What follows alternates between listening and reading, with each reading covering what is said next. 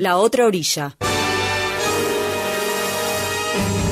José Arenas en AA Radio. Desde Uruguay. La otra orilla. Hay un subgénero del tango que se ha dedicado a la pintura de personajes ciudadanos. Son esos bohemios, malandrines o simplemente pintorescos perdidos a los que las ciudades van permitiendo caminar con sus diversas excentricidades. Son los freaks de la literatura orillera. Quizá un poco se trate de aquellos locos de Buenos Aires de los que escribiera Alejandro del Prado en su tema memorable, en esa tanguez clásica del río musical. Es que estos lugares tienen su gente, pero también sus extraterrestres, sus visitantes del delirio que le dan la palabra al silencio que mantiene la rutina llena de humo de bondi que cargan encima la mayoría de los habitantes del full time proletario. Hay artistas, chiflados, pintores, vendedores callejeros, mendigos, viejas barriales, los que nutrieron las aguafuertes artianas aquí siguen tan brillantes como ignorados. Todo eso hasta que aparece la pluma del poeta. El letrista de tangos caza, tal si fueran mariposas, a esos muñecos lisérgicos, salidos de algún firulete poético o fileteado. Algunos letristas se han encargado casi especialmente de esas polaroids de coloridos palomos olvidados. Acho Stoll, Omar Gianmarco, Miguel Cantilo, Juan Batuón, Horacio Ferrer, etc. Parte de la vida subterránea del mundo ha de sobrevivir en esos versos. Con Letanía del Vendedor, Jorge Alastra hace un retrato de esos pregoneros montevideanos que van cargando la mufa ciudadana de una punta a otra de la ciudad intentando vender lo imposible. Aquí, en esta figura mítica del folclore de la muy fiel y reconquistadora, está, poética y tiernamente, uno de los eslabones más vivos de la sociedad capitalista. Alguien de voz gastada y de osamenta cansada intenta, cara a cara, vender algo. Y en esta forma de la poética de Alastra se dibuja al viajero y a su infinito de objetos pequeños como un profeta pobre del laburo, una adorable chanta que intenta vender objetos mágicos y cotidianos con la misma seguridad con que podría vender el agua de la vida eterna. En el retrato que hace Alastra, el vendedor se va volviendo alguien fundamental para el yo solo y vacío que viaja en el anochecido bus hacia su destino. El vendedor, con sus ardides visibles e inocentes, logra algo más importante que una transacción. Logra una sonrisa, logra la atención.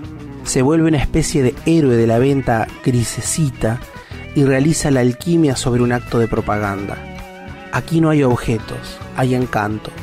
Los espejitos de colores en el camino fatigoso de quienes oyen el rezo, la letanía del vendedor, son esta vez algo necesario. Alguien que vive de intentar vender cosas casi innecesarias, esta vez trae el indispensable sentimiento de no estar solo. Es un inventor de la sonrisa, un fundador de la luz. Está encarnado en la ternura del Parlamento que ofrece y ofrece y ofrece. Funda la locura de que algo diminuto y vulgar, algo de pocos pesos, pueda ser un sueño.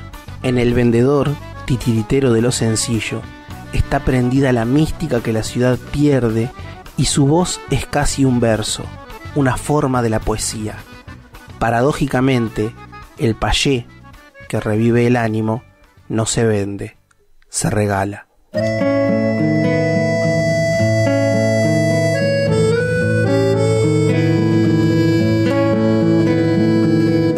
Vendedor, inventor de la sonrisa resplandor, hoy tu ráfaga de ensueño me envolvió en un ómnibus desierto hacia Colón.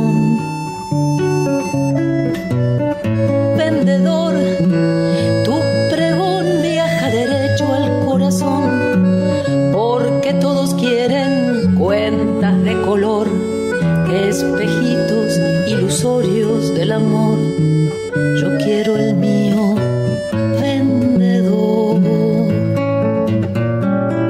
Tu vestuario variopinto, tu bolsillo un gran misterio y la soledad mordiéndote la voz. Ya compré tus fantasías y algo como inexplicable repite que la magia terminó.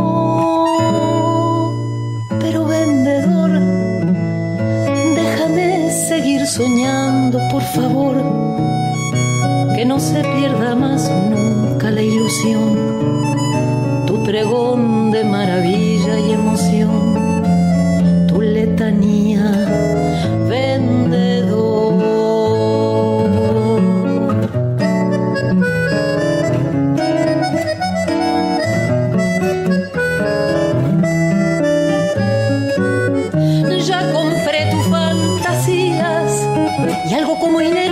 repite que la magia terminó.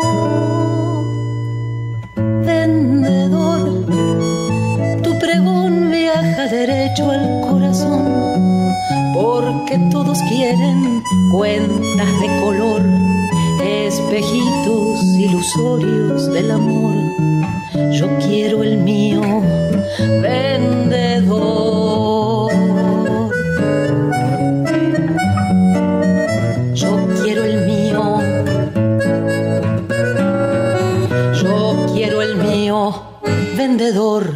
La otra orilla. José Arenas en AA Radio. Desde Uruguay. La otra orilla.